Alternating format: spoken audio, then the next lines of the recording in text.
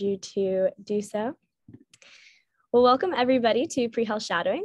My name is Nina and I am the founder and CEO of Pre-Health Shadowing and I'm really excited to welcome you back for another virtual shadowing session.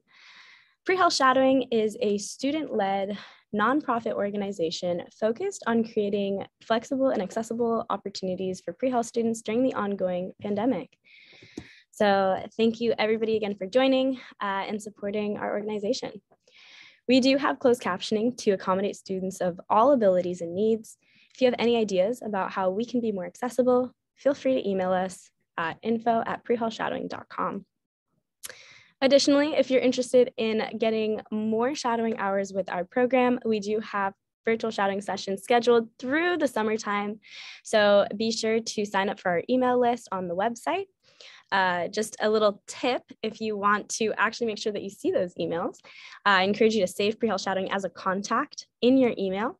Um, this will make sure that you skip the junk folder, the spam folder, and the promotions folder, and it'll go straight to your inbox where you can view it uh, and shine, shine up for our sessions. If you want to stay in the loop, you can join our email list um, as well as follow us on social media. We are active on Instagram, TikTok, and Facebook.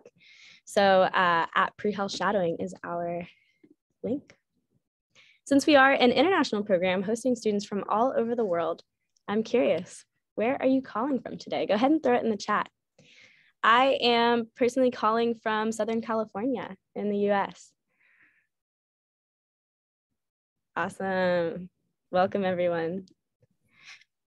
So since Pre-Health Shadowing is a student-led nonprofit um, and you are most likely students, um, if you're interested in joining the Pre-Health Shadowing team, we do have opportunities open for you.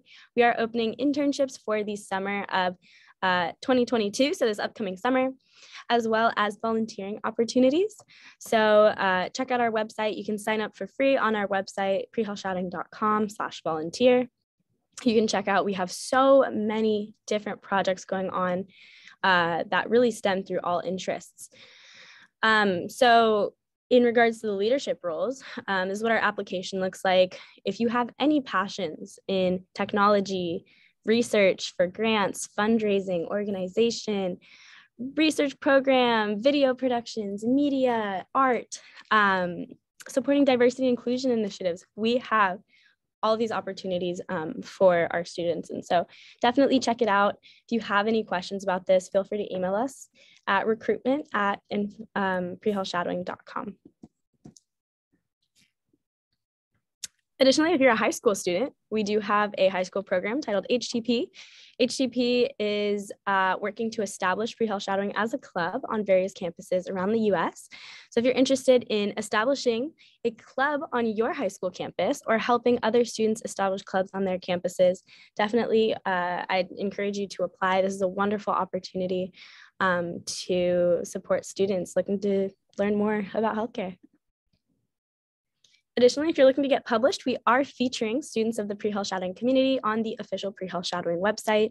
This is your opportunity to get published. Um, you can publish articles, reflections, reviews, and success stories. Um, of course, pre-health shadowing focused. If you have a uh, reflection or a review of a shadowing session, if you have a success story about how pre-health shadowing has impacted you on your journey, or an article about why pre-health shadowing is important. We would love to hear it. As I mentioned, everyone is a volunteer within our organization, including myself, uh, and we are working day and night to keep this program up and afloat to create opportunities for all students everywhere. We humbly ask uh, you to scan this QR code today. Uh, that'll lead you to our donation page where you can uh, contribute to our mission of fighting inequity in health education and promoting diversity in the various healthcare fields. If you're financially unable to donate at this time, we do encourage you to send this to your friends, families, and members of your community uh, to help us support our organization and to keep these opportunities free for everyone, always. Thank you, everybody.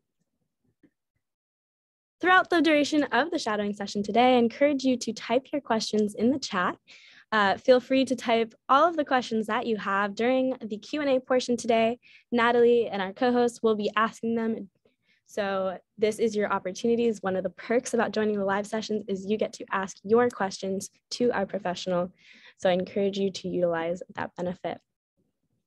Please take good notes because if you are interested in earning a digital certificate that verifies your hours in our program, you will be taking a post-shadowing assessment, which is a 10 question quiz that shows that you were paying attention and actively participating throughout the session. So be sure to take notes um, and you'll have two tries, 10 questions, 30 minutes.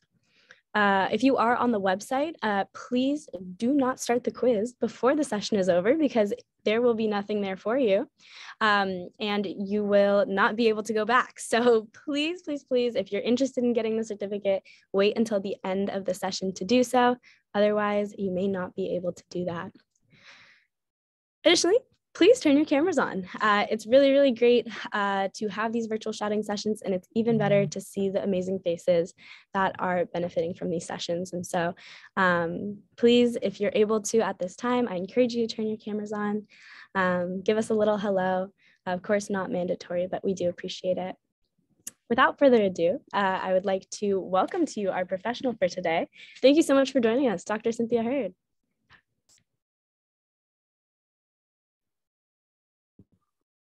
I muted myself. Sorry. um, like I was telling Nina a little earlier, um, I'm having some major sinus issues. Did I mute again?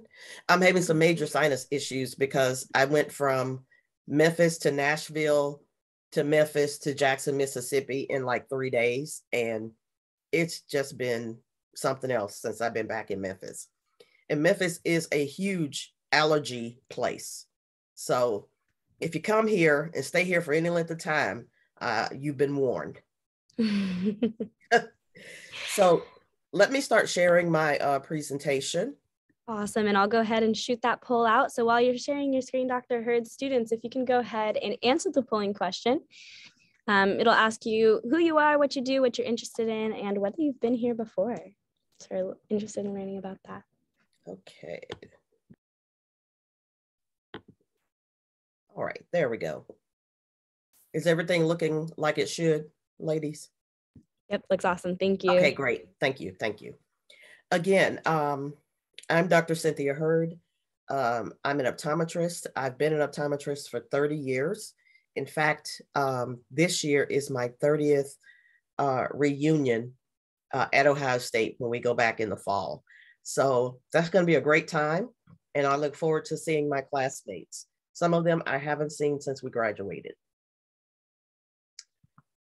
Now, let me tell you a little bit about me um, and some things that I've uh, encountered, just so you have a little bit of I, more of an idea uh, about uh, just me as an individual. So I lived in Jackson, Mississippi uh, from 1965 until I left to go to optometry school uh, at Ohio State. And you may ask, why did you decide to go 800 miles away from home?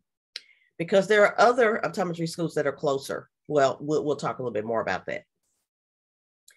Um, I was able to accomplish my goal of becoming an optometrist.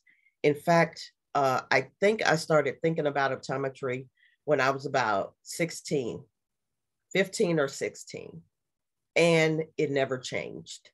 So, not many young people can actually say that. Although I have a number of colleagues who have told me that they wanted to be an optometrist, some of them since they were like second and third grade. And I thought, who in the world knows that by the time you're seven or eight years old? But apparently, that that's a thing. So I consider optometry to be my dream job. And I'm so pleased that I was able to go to school and uh, and do the things that I had to do in order to accomplish this goal. The other thing I wanted to bring up is just a little bit of perspective. Um, I'm one of those people who listens to a lot of books on Audible, and there's just a number of things that are out there. I really started listening a lot after uh, the George Floyd incident because there are so many books uh, about race, discrimination, um, you name it, it's out there. And so I, I really um, appreciate being able to listen to those things because they have contributed to my perspective.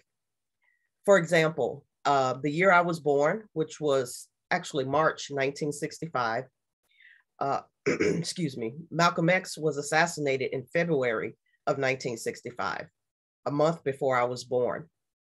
That just trips me out.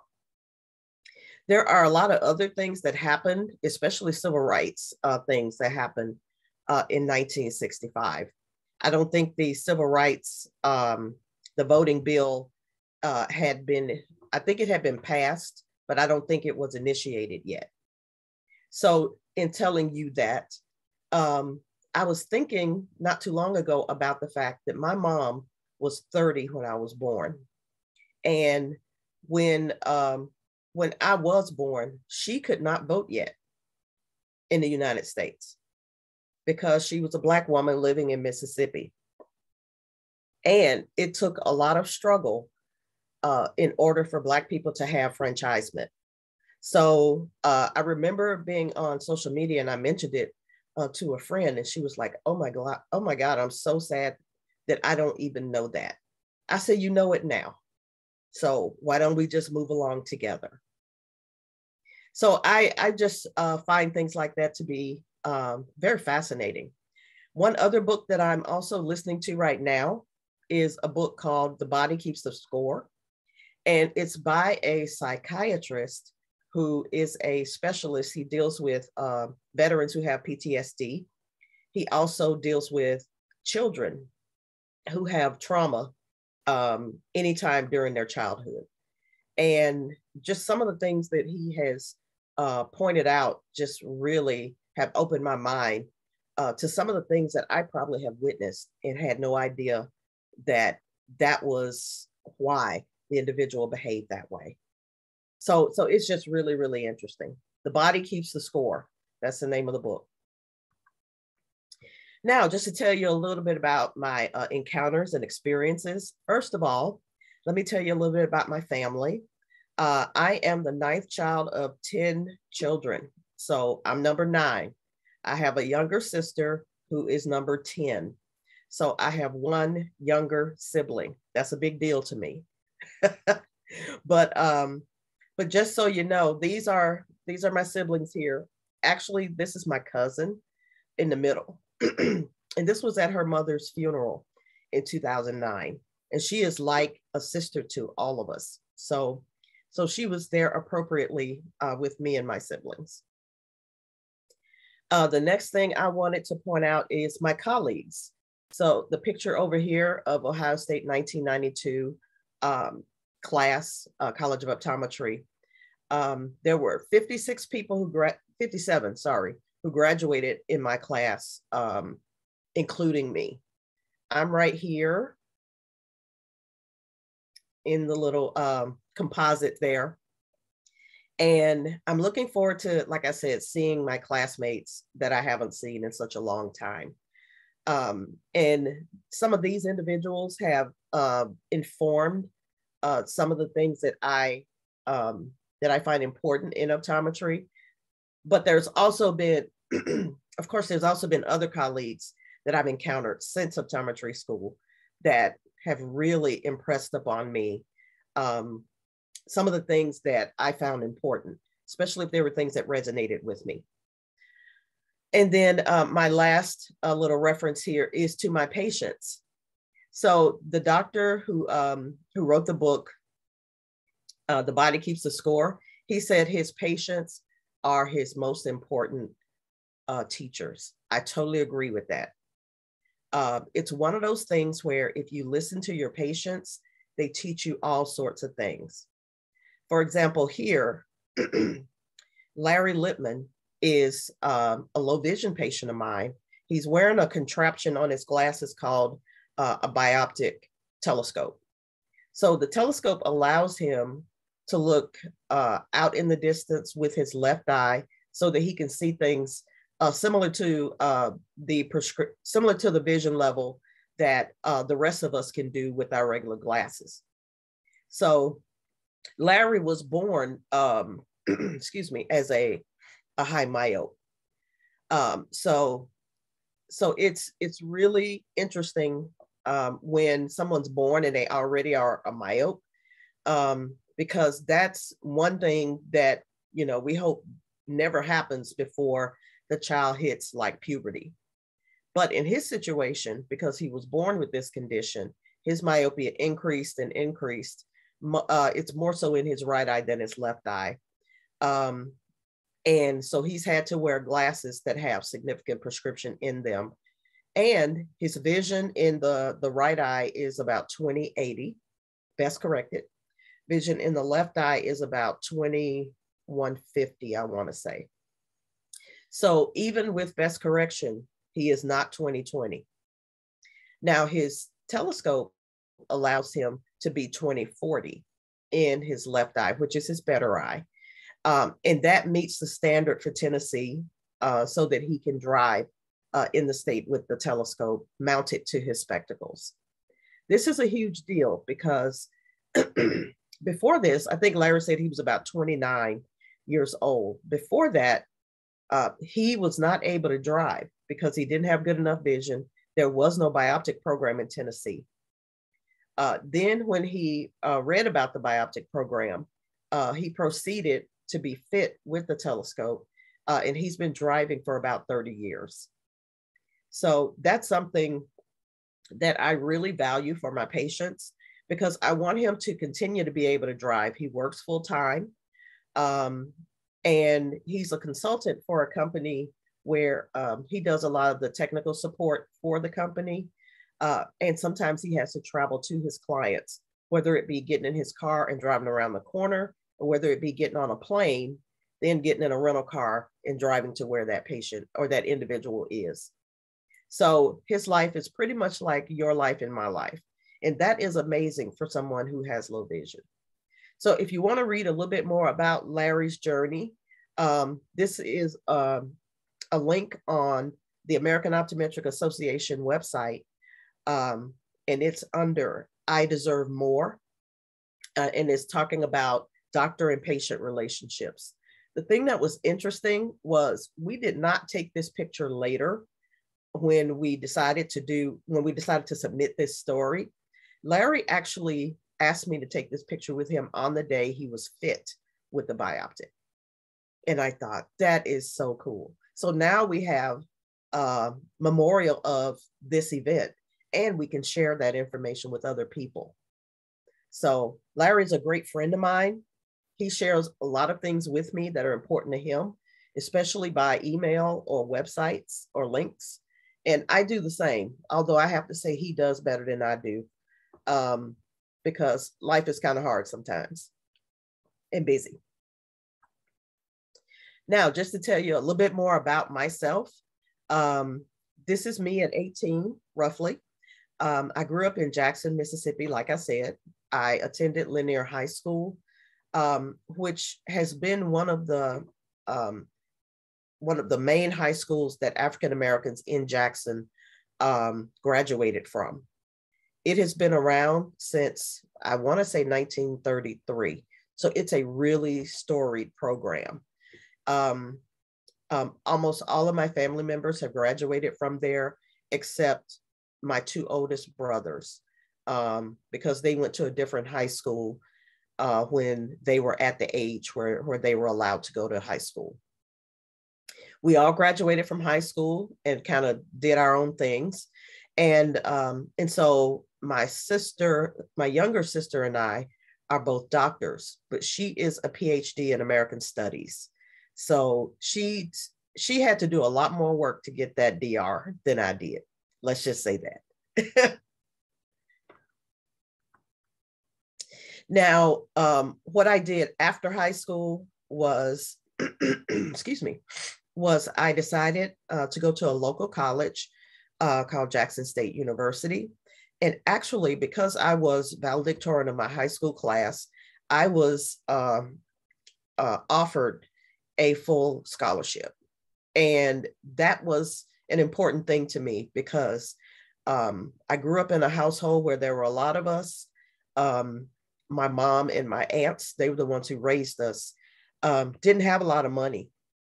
so the only way I was going to go to college is if I had to borrow it, uh, get it through a grant or scholarship, or th- those are probably the two main things.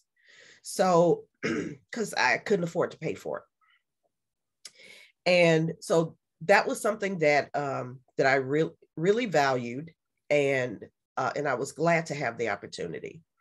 Now I say drive by college because when I went to college at uh, Jackson State, uh, I didn't spend much time on campus when I wasn't in classes or labs. Um, I was a very serious college student because it was important to me uh, to be able to get the grades and to learn the information I needed uh, in order to be able to compete with other individuals at the next level. Because remember, I already knew I wanted to be an optometrist before I even finished high school. Now, I did take, uh, what, sorry, um, I did graduate in 1987 as salutatorian of my class. Um, and probably the funniest, probably the only story I have about that is the young lady who was valedictorian was a, I think she was a chemistry major. And we were both in the same, the same science uh, college. And um, and so she got the award for that college and she got valedictorian. I was like, lady, you're in my way. But she deserved it because she, she graduated with a 4.0 and she was a track uh, athlete. And I thought, okay, I can't beat that on any day. I did decide to take a gap year uh, after college because I was really burnt out after college uh, and you know keeping up with the curriculum to get all my courses done so that I could graduate. I pretty much had no idea what I was going to do. I'm sorry, where I was going to go uh, after I finished college. So I decided I would just take some time um, and decide which schools I wanted to interview at. So you can see my list here. I interviewed at UAB, which wasn't far away. It was my number one pick before I went there to interview um, I interviewed at OSU, and I, have given you some reasons here why I decided uh, to go to OSU because economically it actually made more sense uh, for me to live 800 miles away from my family, believe it or not. Indiana University. I really liked Indiana University. When I went there, they had more uh, minority students than any other program I had gone to. Excuse me. But when I got there, there was snow on the ground.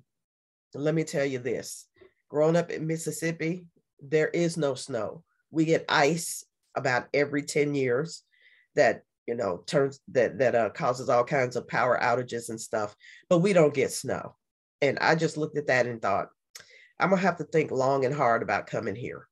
And it turns out that uh, I would not have been allowed to become a resident uh, of Indiana uh, because I was a student, and that and uh, they knew that was one thing that individuals would attempt to do. So I would have had to pay out of state tuition the whole four years. When I went to um, University of Houston, I had good thoughts about Houston when I got in my car. My sister and I drove there. And I got there, and the interstate system was like crazy bananas. I had no idea um, what the ramp system indicated because I'd never been to a city that had a ramp system like that. And we constantly got lost. And so when I finished my interview, I proceeded to tell my sister that if I can help it, I'm never coming back to Houston. And so I did it. But it was a really interesting experience. And I've had really great relationships with individuals, whether they were students, alumni, uh, and even administrators at uh, their school, because it's, uh, it's a great program. And that's me when I, around the time I finished college. Now, when I did my optometry training, uh, of course, I told you this was at Ohio State. And there's a couple of pictures here. There's one of me at the National Optometric Association conference around 2005. uh, which I think it was 2004 actually, uh, when I think back uh, as to when this picture was taken. I was president of the organization at that time. Uh, so the National Optometric Association was created in 1969 uh, by African American optometrists and, and some uh, Hispanic optometrists um, who wanted to be able uh, to come together for a national meeting uh, and teach each other things. Um, and one thing that was uh, going on at that time, uh, the American Optometric Association uh, was willing uh, to recruit uh, minority doctors for their organization, but you had to go through your state affiliate. And there were many states who would not allow African American optometrists to join their organization. So think about that. That's like the 1960s when that was happening. And so as a result of that, um, the individuals who who uh, created in the NOA uh, did not want to pay their dues to the AOA and not be a part of their state affiliate and not get representation uh, as members. So uh, it was a big issue. Now, in um, I think 1979 was when the National uh, Optometric Student Association was created. And we have our, our meetings jointly, uh, usually in the summer of each year.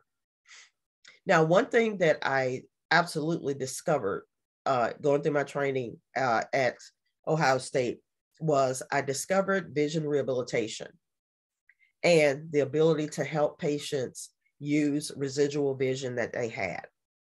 And to me, that was like the coolest thing. And when I went through my low vision rotation as a fourth year student, I absolutely loved it. In fact, I did it off campus at a place called the Central Ohio um, Vision Center. And it was a facility that not only had optometrists who specialized in optomet in uh, low vision, it also had um, occupational therapists, vocational uh, therapists, individuals who help people with blind um, rehabilitation. So it there were a number of professionals who were assisting these individuals um, to help them maintain their independence so that they could continue to work if they needed to, and so that they could pursue other things if uh, if they wanted to and needed to. Um, so I just love the whole idea of a team of individuals coming together and helping an individual uh, with whatever area was their little carve out. That was one thing that I really valued when I uh, did my residency at the University of Alabama uh, School of Optometry. It was the affiliate for the Birmingham VA Medical Center residency. So this residency included uh, blind and low vision care, geriatric vision, and I also went to the Tuscaloosa VA, excuse me, for four months out of that year uh, to do nursing home care. So using um, instruments that were portable uh, in order to examine patients. We did inpatient care uh, because some of the individuals were there because they may have had a heart attack or a stroke or something. And because they were there and needed eye care, we would see those individuals. And then some of them had urgent uh, issues that we would see. So I did get to treat some patients. And one thing I can say is that as an optometrist, I've never had uh, to go without being able to um, to treat individuals with therapeutic drugs because that's something in 1992 was when, when Ohio actually got uh, the law passed for that, which was the year I graduated. And um, so before that, we only had uh, diagnostic privileges. So we could use drops to dilate the eye, to check the pressure in the eye, because they were diagnostic procedures. And, uh, and we could not um, do things like treat a red eye, treat uh, eye allergies, uh, or even glaucoma. But as an optometrist, I've been able to do that my entire career, and that's really a blessing. The last picture here that I want to make a comment about is my husband and I actually went back to OSU around 2014, I think it was. And uh, I had to make sure we went to a game because my husband uh, is a big Ohio State fan, which I had no idea that was the case until I got to talking to him about it. So this is us in the horseshoe, um, having a great time. We really, really enjoyed our experience. We look forward to going back this fall and having even more memories. now, after um, I left my residency, I did go back to Ohio State um, in 1993 and I became a module manager. But that's a fancy title for a clinical instructor, which in a lot of the um, in the settings where people teach, usually the the young doctors who have done residencies, that's usually the job that you take uh, when you're in in a setting like that. I was also a consultant for a, a psychiatric facility for 13 years. Uh, I would take students there and we would see patients um, who were psychologically unstable or they were just having um, maybe having lapses with reality and they ended up there as opposed to being put in jail. Uh, the only areas of practice that I haven't done are private practice, which is what most optometrists do. I haven't done military and I have not done industry. But I know a lot about those things because I've had colleagues who have pursued those things. And excuse me. And I've I have a lot of friends in industry too um, that have been kind enough to um, to share things with me so that I can learn more about uh, what they do and how they can assist optometrists uh, manage our patients. Now, minority student recruitment, this is a big thing at every uh, school or college of optometry. It's a big thing everywhere. Now, the cool thing about uh, Dr. Welton, oh, sorry about that. He was the first African American graduate of OSU College of Optometry in 1938. He was also the first African American fellow of the American Academy of Optometry, which uh, is an organization that still exists today. They're going to celebrate their centennial anniversary this fall. And um, and I had no idea that he was the first African American fellow until I was looking at some information online. And I thought, oh my goodness, I think he's the first African American fellow, which was awesome. I was glad to be able to make that discovery. And he's a Buckeye. So there we go. Uh, also, schools have started to uh, celebrate events like Juneteenth. Um, which wasn't something that was even on the radar when I was a student. But now we acknowledge pretty much um, any events or uh, um, or uh, awareness kinds of um, things so that people can um, at least be acknowledged because it's important for people to feel seen and heard. This is my husband and me at the NOA convention. The um, the students also uh, convene at the same time uh, when the doctors do. Uh, we have our um, uh, food events and things like that together. Uh, and in some of the, the speaker events, we also have together. And the students um, do get a lot of support either from their College of Optometry or uh, from scholarships directly from the NOA or the NOF, which is the foundation for the NOA so that they can come to meetings and not feel um, that they had uh, to take a whole lot out of pocket to be able to go, which is great. Within the last two to three years, I'm going to say there's actually an organization called uh, Spectrum. Uh, this organization within the optometry programs uh, is concerned about LGBTQ um, plus issues. And this was an organization that wasn't on the radar, um, like I said, until a few years ago. So it is a place for um, faculty, staff, and students um, to come together and um, and do things that maybe they wouldn't have an opportunity to do uh, as a group. Now, this is me. This is a pretty typical thing. This is me taking um, photos of children's eyes of their fundus. and so whenever we had a um, take a, a take a child to work day, take a daughter to work day. This one is called uh, Shadow a Student. So um, they would come to the college. We would have a few different activities for them to participate in. And I usually man the camera, the fundus camera. So I would take a picture of their eye. I would put their name, which eye it was, and the date. And uh, and then I would just kind of stand around and see how they react to seeing a picture of their eye.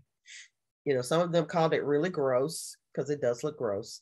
Um, and then some of them thought it was beautiful, kind of like me, um, because the optic nerve, the vessels, um, when everything is functioning like it's supposed to be, it is uh, quite a wonder. Now, one other thing that I want you to be aware of is most schools and colleges um, in the US do have summer enrichment programs. Some of them, uh, they actually pay you to be a part of them. There aren't that many of those. Um, for example, uh, here at SCO, we do have two programs uh, that are short programs, but you know, we hope that they are, you know, somewhat impactful, especially to the kids who are local. So we have um, Eyes on Success, um, and we have a Success in Sight. These programs are for high school and uh, undergraduate college students. Excuse me.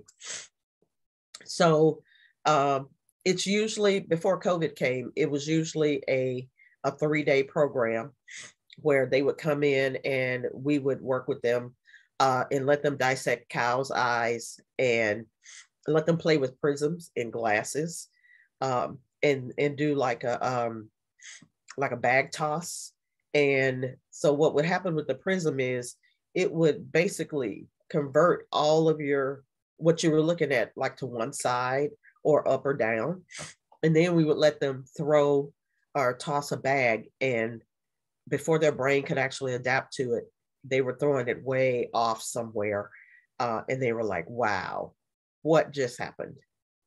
And to be honest, the brain is very good at acclimating because within about 10 minutes of wearing those, those individuals can actually toss a, uh, the little bean bag into a hole or into a bucket, which is kind of crazy. But that's our visual system. It is phenomenal. Now, as far as um, the Ohio State uh, optometry services, um, within the last, I would say, four years, they have actually created uh, a new eye clinic on Ohio State campus. It is now on Neil Avenue when it used to be on um, 10th Avenue. The whole time I was a student and that I worked there, um, it was on uh, 10th Avenue.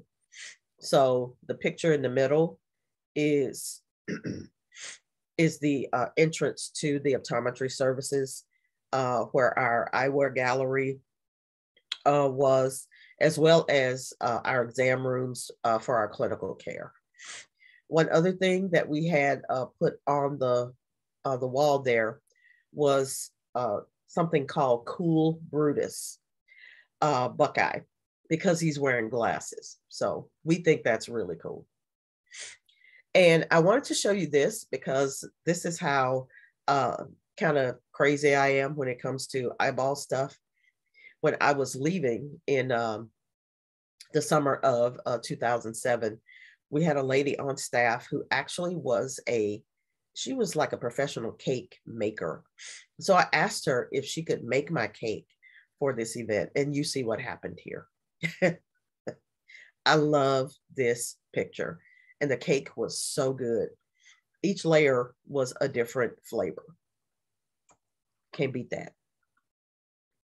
So, some things that will always be a part of my life is going to be uh, doing things that Buckeyes do, like OHIO. These are two different times when I was a part of uh, uh, this process. This was at Graceland Mansion here in Memphis. Two of my friends actually came to visit me after I uh, left there. And so we had to um, solicit a security guy uh, to do one of the letters for us. But it was such a great time. Plus, it was at Graceland, you know, Elvis's home. Then more recently, there were um, whoa, there were several of us who actually either went to optometry school there or uh, were graduate students at Ohio State. And so we had to do the old OHIO at a faculty retreat. Um, I think there were some people who were a little salty about it, but that's not my problem. Now, I moved to um, Memphis in August of 2007. Um, and so we have uh, two main buildings on our campus. Well, actually, three, but two of them I'm going to talk about. We have uh, the tower, which is where our classes and lab spaces are located. And pretty much everything else. We have a diner on the fourth floor. Um, uh, doctors' uh, offices are throughout um, the tower. And uh, we have a campus store uh, because uh, is a an independent uh, school of optometry, we pretty much have to have all the things on campus that other schools uh, might have access to because they are on a bigger campus, like what was the case at Ohio State. Um, I just want to share a picture with you of some of the students and me. We were at a, a NOSA a vision screening. This was probably around 2015 and this is pretty routine. We uh, we try and do at least one screening per semester. We may even be able to get in um, a few more. This is a perk for the student uh, members. They can um, participate in the screenings. They they get first dibs, um, and we can educate patients about eye issues. Now, this picture on the right is one of me uh, being interviewed by someone from the local uh, local media from one of the um, local channels. Um, so about every year, although we had to uh, we had to uh, delay it for at least a couple of years because of COVID, but we uh, when we have a sight savers uh, training, what happens is uh, we identify school age children who could benefit from having an electronic uh, magnifier. Something like a CCTV is what they're called. And these instruments uh, have a lot of different functions to them, and it can make a huge difference in a child's life uh, while they're in school. So, Sight Savers not only um, uh, they actually identify children as well we had our most recent event was about three weeks ago. And uh, we had 14 children that came in for uh, training. And so the training entails showing them how to use the instrument making sure that they can write under it um, and making sure that they know what the controls are uh, and uh, make sure they can get home and set it up. Most instruments now are like one big unit that are connected to each other, uh, parts connected. So it's really easy to take an, uh, an instrument home now and plug it into an outlet and you're ready to go, which is great. And I love helping students uh, at those ages. It really can make a difference in their lives. One other thing I didn't mention is the Eye Center. Our Eye Center is one of the largest eye centers in the country, believe it or not we have about 400 uh, eye appointments per day. You heard me, per day. And uh, we have, I think, seven different clinics uh, at the eye center. So we do everything from basic primary care uh, up to removing lumps and bumps from the eyelid.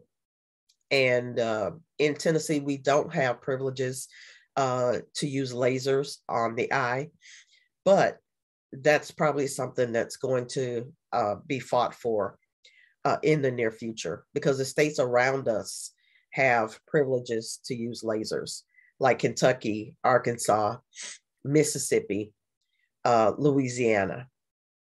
So, so we're we're probably going to uh, try and get that privilege so that optometrists who want to do that care can do that care. Now, Memphis, for those of you who have been to other parts of Tennessee, um, once you've been there, you have not been to Memphis, though. Memphis has its own vibe. Uh, it's an area where uh, the blues is really big here because a lot of uh, musicians and singers that came from plantations and um, uh, in sharecropping situations in Arkansas, Tennessee, Mississippi, they would come to Memphis um, to try and make another way or make another kind of living for themselves as musicians. And many of them travel back and forth uh, between Memphis and um, Chicago. So there was a lot of sharing of music and, and concepts uh, among those musicians. Now, this is one of my favorite pictures at work. Me and the Grizz. This was on Halloween in 2012. And I'm sure you're like, okay, thank you. But I think this is the only time I've seen the Grizz actually come through the clinic. And everybody was really excited, especially the kids that were there that day. And we had candy buckets everywhere in the clinic. So it was a wonderful time for everyone. Excuse me. And you can see I was really enjoying myself. One thing that my husband and I were able to do uh, once we got here, it was a it was a few years later, we got to do a Segway tour downtown.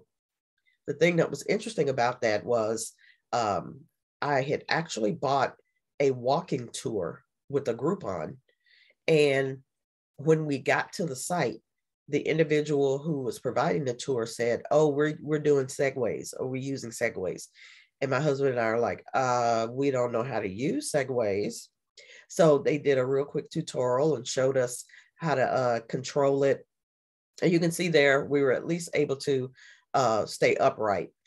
And in the background is a great picture of the river over the Mississippi. So it was a wonderful time. That was probably the most fun thing we have done since we've been in Memphis.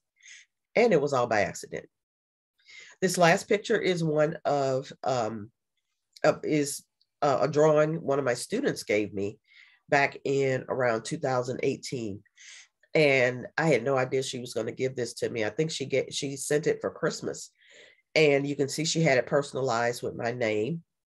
She also has Southern College of Optometry low vision which low vision clinic was the one that she and I uh, saw patients together in. And I told her that I really liked um, my picture. It's hanging in my office today in a frame. And uh, this Dr. Heard is, is really hot. So uh, I was okay with that. Now, that pretty much concludes my uh, presentation. Um, you can see here uh, what my contacts are um, if you want to get a hold of me by email, uh, by phone, or you can go to our website and, and look at things um, around the Eye Center, which can connect you to the SCO website if that's something that you're interested in looking at. So I'm going to stop sharing, maybe.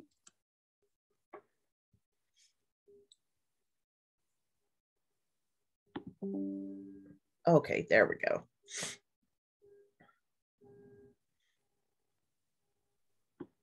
Thank you so much for that amazing presentation. I learned a ton, and I'm sure that everyone else did as well. I'm just going to throw a plug in here for all our students who are watching. If you have any questions, feel free to throw them in the chat.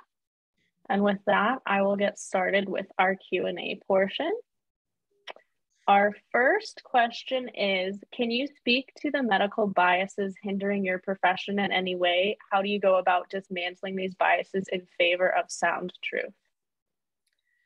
That's a really tough issue because uh, biases um, are something many times that are unconscious and and professionals have no idea that they're actually uh, showing bias that is something that I'm very uh, diligent about, even as a, a consumer of healthcare.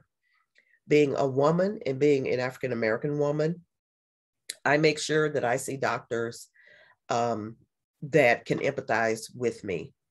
So that means I fired all my male doctors. I'm kidding, and and uh, excuse me, and I I work with people that um, that I feel real comfortable with. And I have a ton of doctors now. Like when you get into your late 50s, I mean, they're just doing stuff just to be doing it. And um, unfortunately, it it just takes uh, continued education. I'm not really sure what it's going to take because medicine has been looking at this forever. So has nursing. Um, and there's a lot of research about it um, and there's just no really good solution. One thing I do try and um, and educate my patients on is to be their own healthcare advocate. And if they don't feel comfortable with the care they're being provided, fire that doctor. I say it just like that.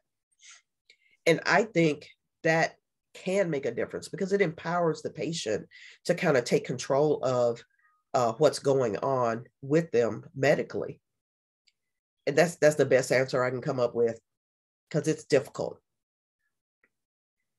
Well, it was a great one. Our next one is what does a day in your life look like? It depends on the day of the week. Being um, an educator, um, I might spend most of my day in the clinical setting, but let me just tell you about a day when I'm in clinic mostly. So typically, I'm in clinic um, in low vision clinic on Monday mornings um, at eight o'clock. And that's just cruel and unusual punishment, but you know, we, we just get through. And um, and so the students, I usually have either four or five interns. They are fourth years. So these are individuals who are going to graduate the following spring. They have already had all of their coursework so during their fourth year, all they're doing is patient care. So they're seeing patients in the different clinics. And uh, when they come to low vision, I am one of three doctors that will be their instructor. Uh, we see patients in that setting for about four to four and a half hours. So um, we can also see children too. So the youngest patient I've ever had in low vision was probably four years old, and they're so precious. I love them. I love them the moment I see them. And that's the one thing that I, I try and make sure that the parent is educated and and I want the parent to feel uh, empowered to be an advocate for their child because that's extremely important, especially to get accommodations, reasonable accommodations in school and in other settings, uh, you know, if the child needs them. Uh, now, when in the afternoon, well, I eat my lunch in like 10 minutes. I'm usually running between things. And a lot of times I bring my lunch on days when I know I'm going to be in clinic a lot. And that has not changed since the first day I started teaching, which is crazy. And so usually I work with third year students in the afternoon in our primary care clinic. Um, I usually work with four interns there. We're in a suite where I think we have like six or seven suites where it's third year students. So we have a lot of third years in our clinic at one time. And um, it may be called our primary care clinic, but we see a lot of disease there. We see a lot of patients with cataracts. I'm talking about to the point of removal. They needed removal yesterday. Uh, we see people with diabetic retinopathy. We see people with end stage glaucoma, which is horrible because the, you don't want to tell them that you got here too late. And, you know, they may think, well, can't glasses help? And I'm like, no. It's it's such a sad thing. But at least I can educate them about low vision because at least I don't say to them, there's nothing else we can do, which that is like the worst thing you can say to a patient who is looking for hope. And then I get home about 7, 7.30 and um, I go to bed and get up the next day and do it all over again. but it's awesome. I love the students. Sounds very busy, but also very rewarding at the same yes. time. And then another student asked, you said that you knew early on that you wanted to be an optometrist. What influenced you to go into this specific field of study? Well, uh, some of it had to do with my first eye exam. I was 13 years old when I had my first eye exam and I needed glasses. So I was what I would call a baby myope. So I only had a little prescription, but it made a big difference for my distance vision. And um, so I went to the optometrist and it's like it was like I had an out of body experience. That's the only way I can describe it because the doctor was talking to me, he was asking me questions, he was doing these different tests. I had never been to a doctor who interacted with me and not my parent or somebody else in the room, uh, which was really different.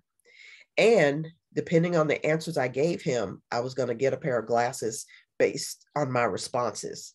So that was another thing that was really interesting to me. So I went home with my 13 year old self. And I didn't think much more about it until people started asking me around the time I was 15. So what are you going to do up do when you grow up? And I said, I'm going to be an optometrist. And they're like, well, you know, you got plenty of time to think about it. And I said, yeah, but I'm going to be an optometrist. And they're like, okay. And uh, the thing that was really funny, I went to my high school 30th class reunion back in, I think it was 2013. So the one thing I can say to all my classmates is I became an optometrist, which is awesome. And, and it just kind of stuck with me. Thank you. And then we have Emma asking, what is your favorite case to see slash type of optometry patient and least favorite? Probably my, my favorite patient to see is someone who comes in and they don't have correction and the correction could have a huge impact on their life. Um, so they could either be a hyperope or a myope or an astigmat. Sometimes we have people who come in for the first time um, in their 50s, first eye exam. And I'm like, what the? But that's how it is in, in Memphis sometimes and um, and the students do such a good job with those patients. They educate them thoroughly, and they make sure the patient knows what's going on through the throughout the exam. Um, so those, I think those are very rewarding cases because the patient they can't thank you enough when they get ready to leave. The hardest cases, and I already talked to you about this, the hardest part of my job is uh, dealing with patients who have vision loss that can't be repaired and it's really unfortunate. Um, and sometimes I'm the first person telling them that their vision is not coming back. We call those difficult conversations, and they're difficult for a reason. Um, and so, you know, you try and make sure that the patient doesn't check out because they can, especially when you say your vision's not coming back. They don't hear anything else after that. I don't care what you're saying. You could tell them they want a million dollars. They're not hearing it. And uh, and so hopefully someone's there with them who can also take in the information. And um, and again, like I said, I tell those individuals that we do have resources for individuals who have lost their vision, and that there that there is something else we can do. Because, like I said, other doctors will tell them I can't do anything else.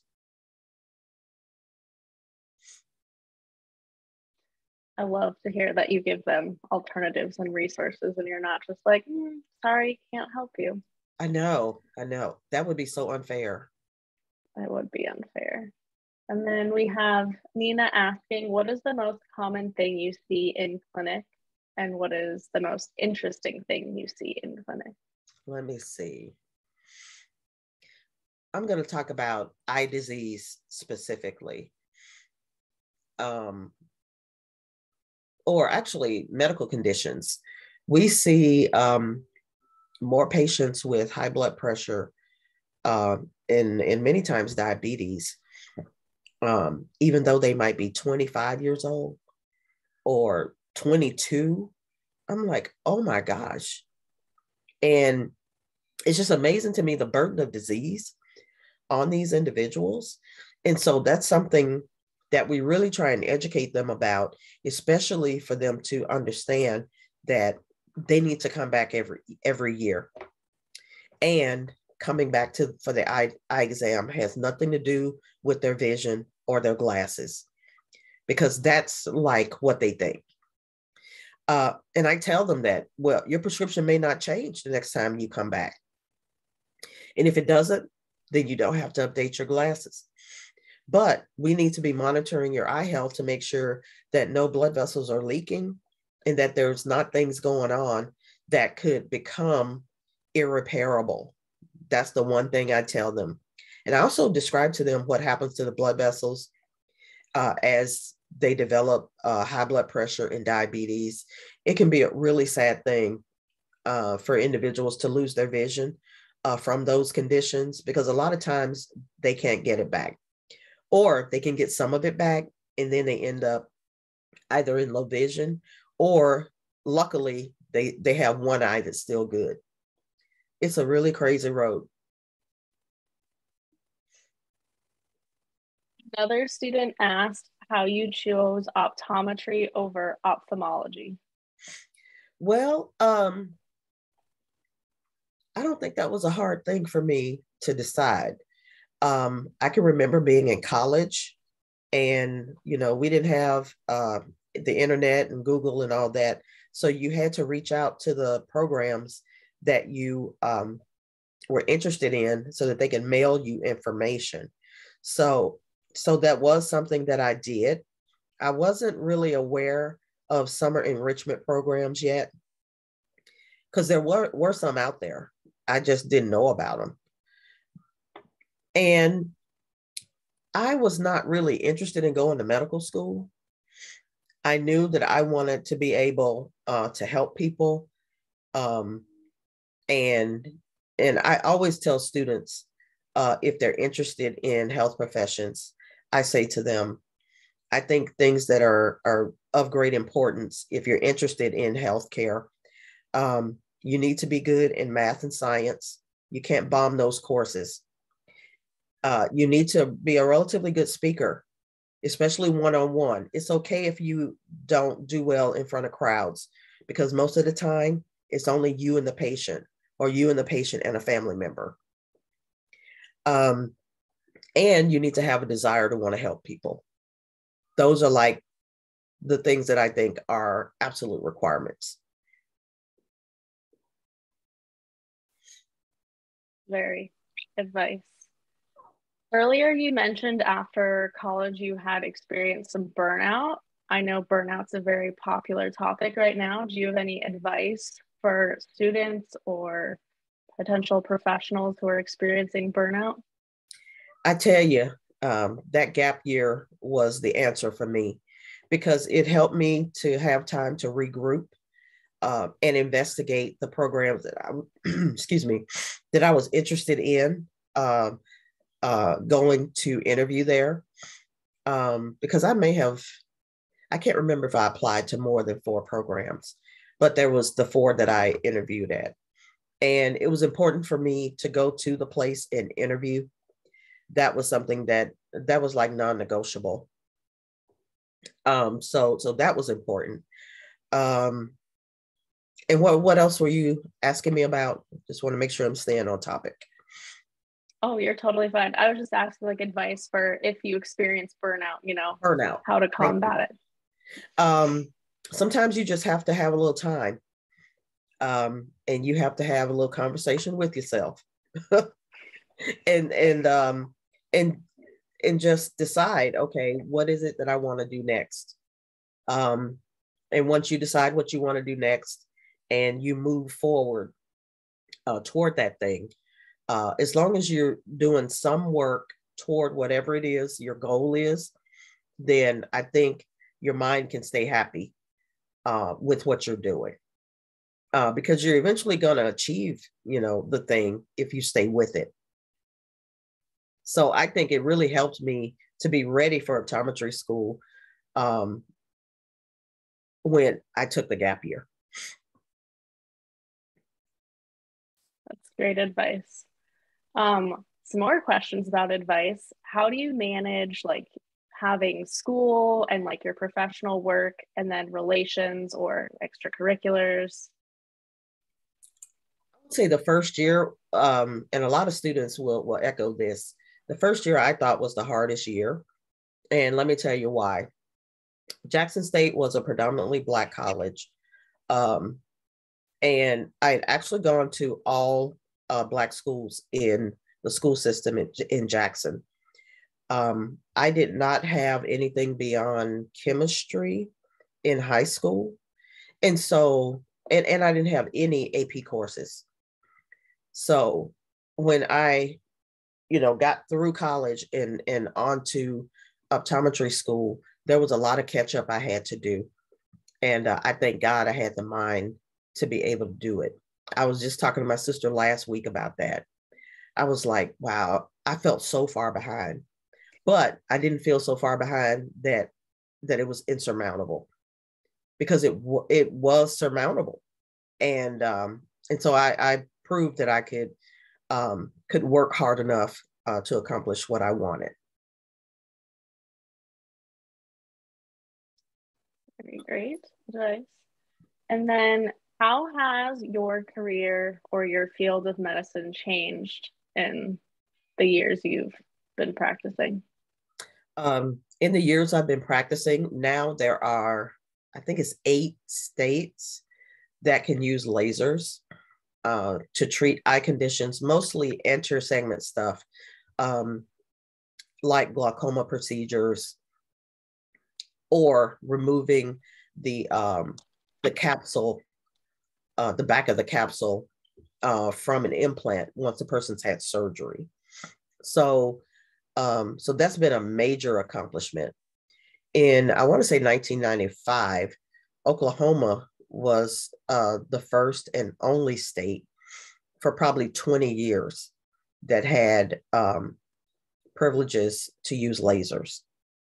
So they're the granddaddies because everybody else came along later, like Kentucky, uh, Louisiana, Arkansas has probably been, been within the last three to four years. Mississippi just got their law um, last year or the year before. And um, and then there's a state out west, I think it's Utah, where they have, I'm sorry, it's Alaska. Alaska. Um, so uh, it's just a matter of time before everybody has it, or at least most of us have it. Do you oh, know why there's Oh, sorry. Go for it. Um, I just want to say a little bit more about um, how the profession is different.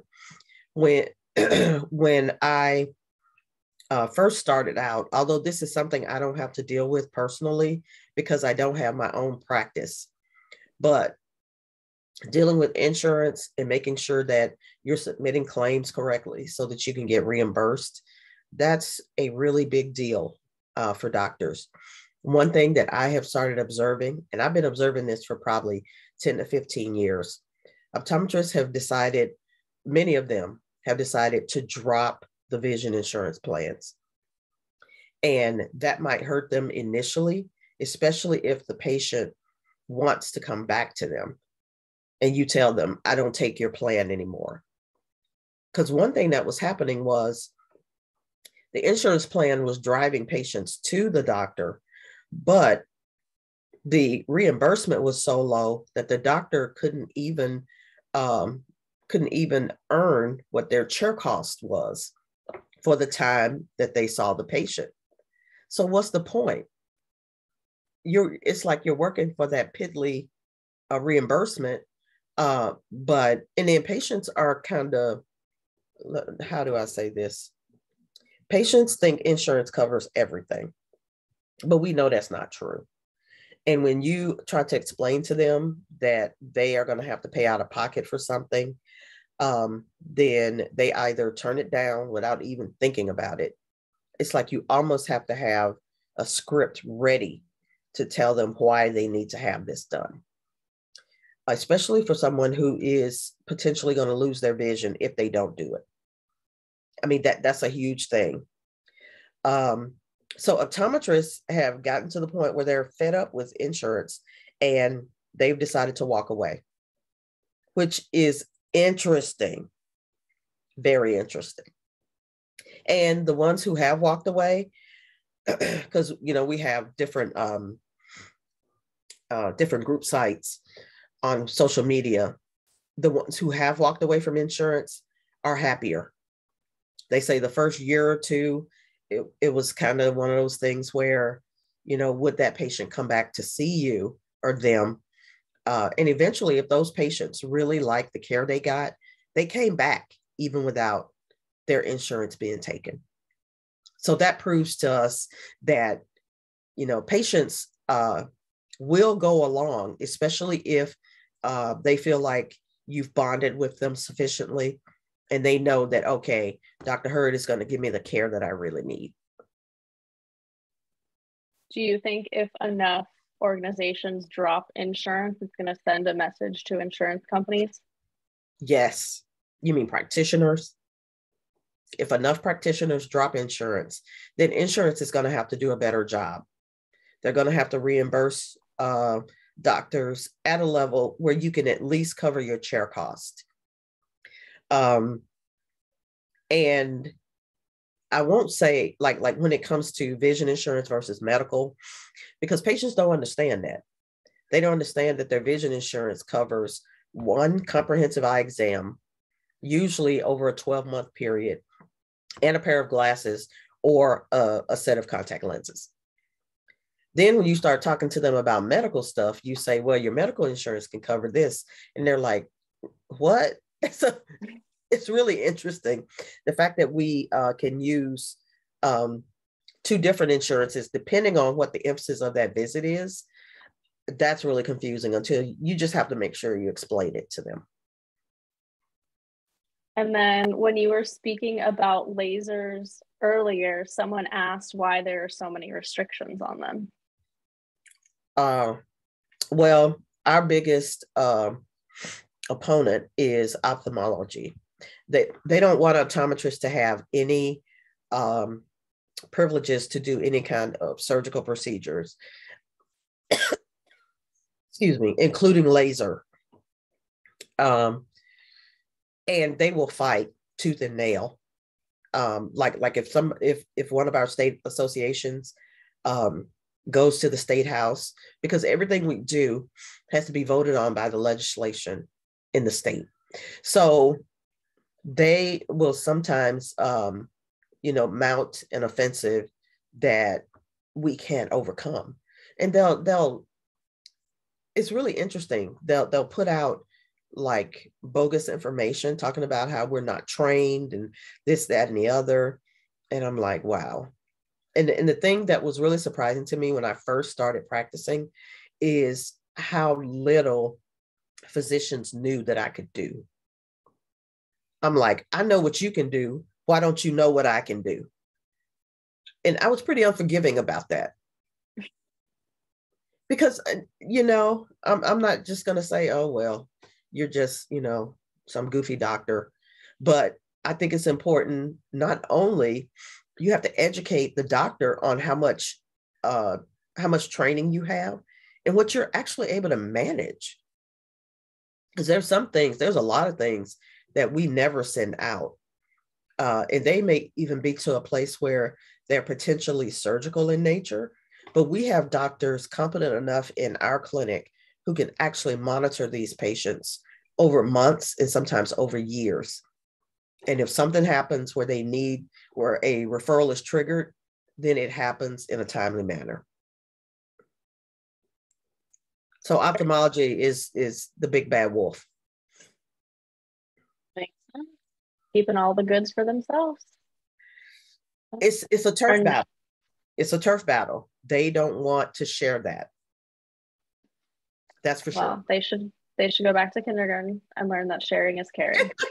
I love it. I love it. That's good. Um, our next question is How do you handle difficult patients? Um, that's an interesting question because somebody was on, um, there's a, a women's OD group on uh, Facebook. They got out of the OD uh, Facebook uh, group because they thought men were just uh, uncouth to deal with. That's all I can say about that. And so, so uh, someone created a women's um, optometry group. And so someone asked a question recently about so what would you do if a patient came in and was yelling at your staff about this, that, or the other, and just really just kind of showed out in front of everybody. And so, you know, everybody was, you know, kind of dancing around the issue. And so I chimed in and said, I'd yell back at them. she went, Oh my God, I was waiting for somebody to say that. And the reason why I said that is because I have yelled at patients. Because sometimes there are things going on, and you're like, What is wrong with you? I feel like I have a legitimate reason to yell at you, or at least to be very stern and patients actually calm down. They calm down when you uh, show them that you are not going to cower to them and that you are going to stand your ground. And then we end up being friends before they leave. Enemies to best friends. I know, right? What qualities do you think would make either a good doctor or an optometrist or just someone who deals with patients? Good qualities. I think individuals who um uh, who can show empathy because um, it does no good to show sympathy because you you really can't do anything for the patient if you feel sorry for them or it'll come across that way. Um, and the patient may feel, you know, lower than what they were originally. But I think people need to show empathy. I they, I think people need to show compassion. Compassion has been a big part of what I teach my students when, and I model this for them when we're in the clinical setting, because I think it's really important sometimes uh, to just step back and do something that the patient asks you to do, um, even if it's not a part of their exam. I run into this all the time in low vision clinic. They'll bring in documents and they'll be like, Dr. Heard, can you look at this and da da da and organize it for me? I said, Yeah, I'm, I'm good with that. And then the student's like, Okay, but they don't have anybody else to organize it for them. And uh, even though they may not be able to see well, some people don't trust other people. And they're like, I'm not letting anybody see my bank statement so that they know how much money I have in the bank. I mean, it's a really interesting issue. Um, what else? I think um, you just have to be willing. Um, if you see something in a patient and you're like, wow, I don't know what the heck this is. You have to be willing to either refer the patient on so that it can be figured out or do your own research and and uh, and then come to the uh, conclusion uh, that you might need to come to. Sometimes I'll do research and then I realize that okay, this person needs to be referred. And it's usually not anything where their vision is is any great in any great danger. In fact, there there's a patient right now that I actually need to call him. He has an interesting retinal condition, but I have no idea what to call it. I've never seen it, and I looked through uh, websites and books, and I'm like, okay, I don't know what this is. Uh, so, but we took photos of it, and I actually want refer him to one of our doctors who's a retinal specialist. She's an optometrist, but she's a medical optometrist. so she basically manages patients' uh, retinal conditions and if they have any issues with the vitreous, which is the gel in front of the retina interacting with the retina. She probably hasn't refracted a patient since she graduated. That's not her job, which is very interesting because that was a really interesting thing that I ran across uh, when I first moved here because I didn't know any medical optometrists in Columbus. But I learned about like three of them right away when I moved here. It was just really interesting. And they do a really good job. A really good job. So, on the lines of that, we have a student asking Does a medical optometrist have to attend med school or the four year optometry school?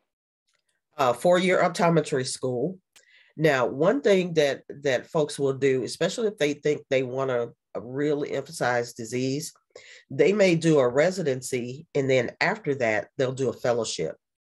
So they do two years of additional training in a setting where there's a lot of eye disease and they get to manage those diseases with other people there with them uh, that they can uh, talk to about what to do. And then some doctors, like this one doctor, uh, well, she might have done a fellowship there's this Dr. Haynes. Um, she did a residency. And then I think she kind of did a fellowship in a retinal uh, practice where there was already one medical optometrist there. And he kind of took her under his wing. And then she started, um, you know, doing mostly medical uh, retina. And she's really good at it. I like her way more than him because he, he's loud and obnoxious but she's very kind. So that makes a difference. It does. Do you have anyone in your life you would consider a mentor? And do you have any advice on people looking to find a mentor or specific qualities that they should look for? Um, mentors are an interesting topic because there are people who have been in my life that were mentors to me where there was no intention for them to be a mentor when I encountered them. But I remember having um, a boss who was pretty much over uh, the whole clinical uh, program. He ended up being a mentor to me, um, as well as a woman who was, she was involved in the clinic administration, but she didn't end up staying. And um, and I thought she was like the coolest optometrist optometrist I knew, and uh, and so she ended up being a mentor to me also. Uh, um, and then you know along the way, different people become mentors um, because I don't know, you see something in them or you see something that they've already uh, mastered that you're trying to master. So I don't usually say to them, well, you know, you need to be my mentor. What what happens is I massage that relationship and then I learn for them from them what I need to learn. And um, I did have one young lady who graduated like nine years ago, but she ended up coming on faculty at SCO. And then one day in the hallway, she just looked at me and said, You know, uh, I consider you my mentor. I just looked at her like, and what makes you say that? And it was it was just interesting. It was one of those things that we we bonded when she was a student. And so it wasn't like i didn't already know her. And and i said okay i will take on that role. And i did for a couple of years.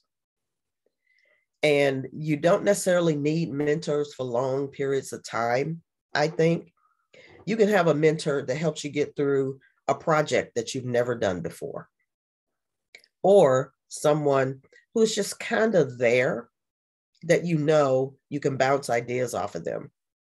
So they end up becoming a mentor to you when you need them. So an intermittent mentor. and you can ask them, you can ask the individual if they would mentor you. And most people will, which is great do you have any advice on how students should approach that? Um, if you are interested in an area where that doctor is re- doing research, or if you know that they have a tendency um, to write their um, their publications on certain conditions, and those are the conditions that you're really interested in, then those are the the individuals that you just need to pursue. Excuse me. And I think doctors are okay with that. They are perfectly okay with that. It's just that, you know, there may be times when they're really busy and they don't really have time to take on an extra thing in their life. But six months from now, maybe they're ready. So, um, so I think most people, uh, instead of you know flat out telling you no, they'll say, "Well, I got too much going on. Check back with me in six months."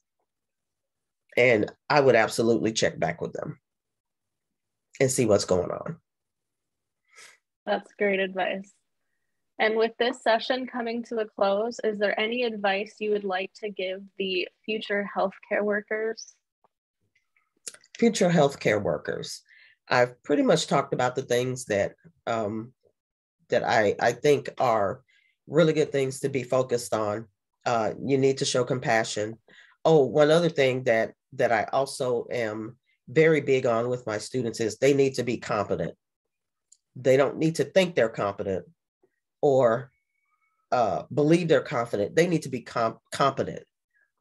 And um, so, working with them to make sure you work through um, issues in the clinical setting and listen to their uh, thought process and correct them if you need to, and then say, okay, yeah, I think you got that. So, uh, compassion, competence, I think I think those are, are really big things. Also, we all are going to have to uh, be a part of the process of um, of trying to whittle down the issues with um, uh, with bias, where patients get maltreated because of bias, um, and uh, health discrimination. Um, if if you're a person who, if you see something happening, then I would have to stand up for that patient. And if the next person doesn't like it, I'm like, that's really your problem. It is not mine. So I'm, I'm pretty vocal when it comes to things like that. And um, and then when people know your position, they back off. I realize that sometimes people can be timid and they're not a they're not accustomed to doing that, but I'm accustomed to fighting for my turf. Wonderful. Thank you so much, Dr. Heard, for joining us today, for the amazing presentation, and for all of the insight that you've provided to myself and my peers. Um, it's an wonderful honor and privilege to have you joining us. So thank you so much for your time. And thank you for creating this group or this uh, forum. I just wouldn't have known where to go or what to do first to create such a forum. Thank you. So and. I'm glad you did. Thank you. And for all of our students joining us here today, I'd like to invite you to uh, reflect on today's session. Uh, we've had a wonderful opportunity to gain insight from a professional who has worked in this field for many, many years. And so I want to ask you what brought you to the session today? What are three major takeaways that you got from this? And what do you want to learn more about? Of course, you don't have to share this. This is for you and yourself. But if you are interested in sharing, we do have an opportunity for you to get featured on the pre-health shadowing uh, official website. You can submit your reflection from today, a review of today's session, as well as your success stories uh, and articles. And so definitely, if you're interested, you can use this on your resume, CVs, applications, your LinkedIn profile. Um, so definitely uh, look into that if you have a passion for writing. Again, I mentioned if you're interested in being a part of the pre-health shadowing team, uh, we are recruiting for summer as well as the upcoming academic year. And so I encourage you to check out the website prehealthshadowing.com for opportunities. We are opening up internship opportunities for the summer. So if you are interested, I encourage you to check it out. You can email us at recruitment at prehealthshadowing.com if you have any questions about the positions. On the website, there are in-depth um, role descriptions that is brand new. So definitely go and check that out. Again, I mentioned uh, our program is 100% free for all students to join um, to gain insight, and uh, we are all volunteers here. And so, if you could please uh, scan this QR code and help us keep this program afloat um, and keep opportunities available for students around the world for free, um, we would highly appreciate that. Of course, uh, we recognize this is not always possible. We are living through a global pandemic. So we do ask that if you are unable to donate at this time, if you could please share this link either on your social media or with members of your community. Now, the moment you've all been waiting for, the certificate. So this is how you're gonna do it. You're gonna go to the website prehealthshadowing.com where you can click on Dr. Heard's profile page on our website. From there, you can enter the quiz, which is a 10 question quiz. You'll have 30 minutes and two tries to complete this quiz with a 70% or higher. Upon completion, you will receive a downloadable certificate that I recommend you download immediately to your device, and you will have uh, verification of your hours. Um, one handy tip that one of our uh, pre-health shadowing community members has shared with us is that they have one document where they copy and paste all of their certificates and then they put their reflection underneath their certificate. This is helpful for individuals who may be applying to programs in the future, whether it's an optometry program, medical program, nursing program, PA program, you name it, you will be uh, reflecting on these opportunities. So I encourage you to do so. That is the tip of the day. Um, and if you missed any part of today's session, don't worry. We have all of our sessions, this one and all of the rest of them on our website and YouTube channel at Pre-Health Shadowing be sure to check out our website. We have sessions every week um, and we are booked through the summer. So definitely check us out if you are interested in helping us recruit professionals. Uh, maybe you know someone, your family members, you know, your uh, healthcare providers. Uh, feel free to nominate them. You can shoot us an email or use the nomination form through our website and we will get in contact with them. That is all for today. I just want to thank everybody again for joining and shout out to Dr. Heard. And if you have any questions about joining the team or anything about our organization, members of our team will stick around for a couple extra minutes. If not, this is the end of the virtual shouting session, and I hope you have an amazing rest of your week. Bye, everyone.